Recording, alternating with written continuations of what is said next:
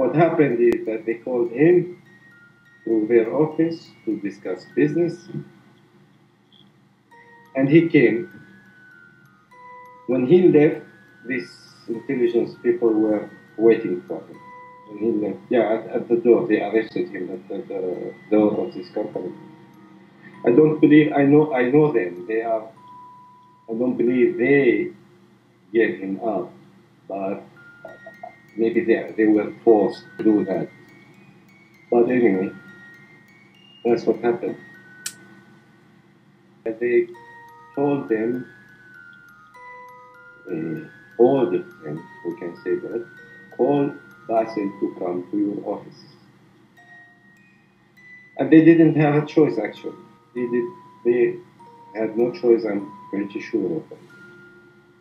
They had to do that, otherwise they would be in prison.